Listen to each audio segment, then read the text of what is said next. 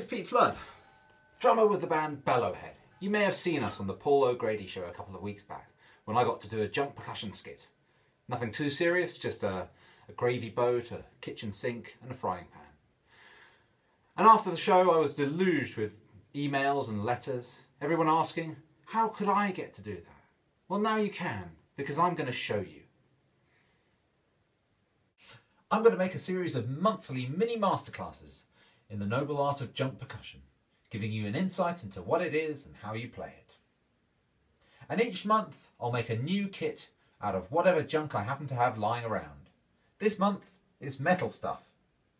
Great, let's get on with it.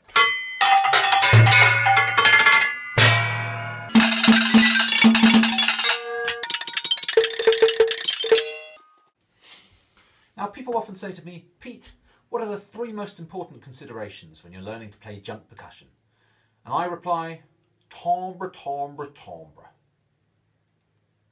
Timbre, timbre, timbre. The very sound of your instruments. Now, all the technique in the world will count as nothing if you haven't the aural discernment to tell the difference between a truly great piece of junk percussion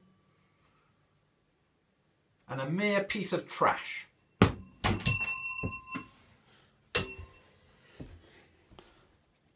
Now as you can see this kit here has been made in a fairly standard kit configuration. We've got a bass drum.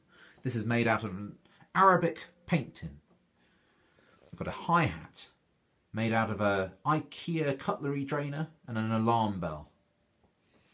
We've got toms made out of an ashtray and a round black thing. And we've got cymbals made out of aluminium trays. Now, just like a drum kit, it helps to have a range of frequencies at your disposal. So my bass drum has a nice earthy thud to it.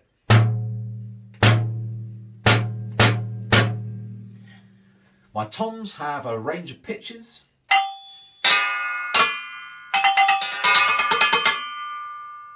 My hi-hat's got a nice fizz.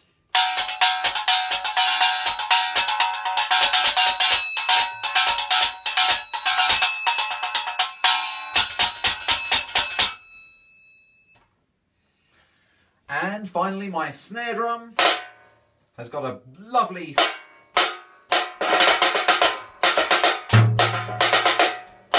thwack to it. Now, The snare drum is arguably the most important drum on your kit and I favour the use of a, a fruitcake tin. This one here is from the Collins Street Bakery in Corsicana, Texas. They make the best fruitcakes and consequently they sound the best too.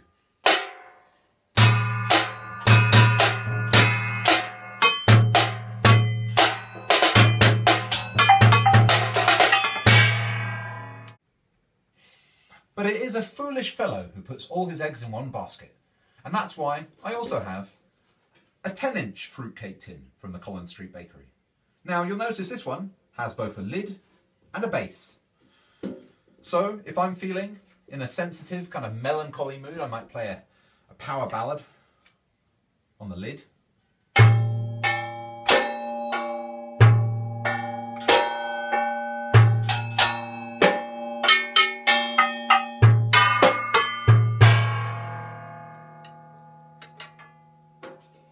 Whereas if I'm feeling spiritual, well, I'll just flip it over.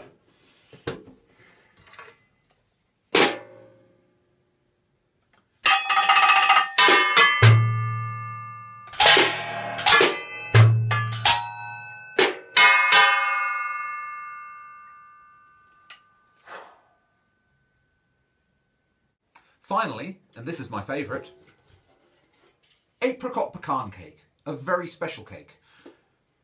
You can hear there are still some crumbs left in the tin. And that gives it a very gutsy, very versatile sound. You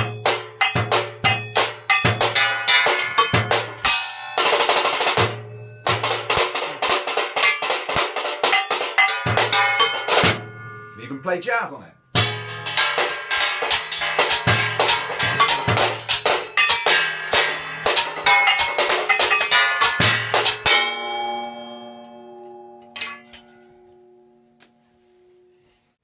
I'm going to go now.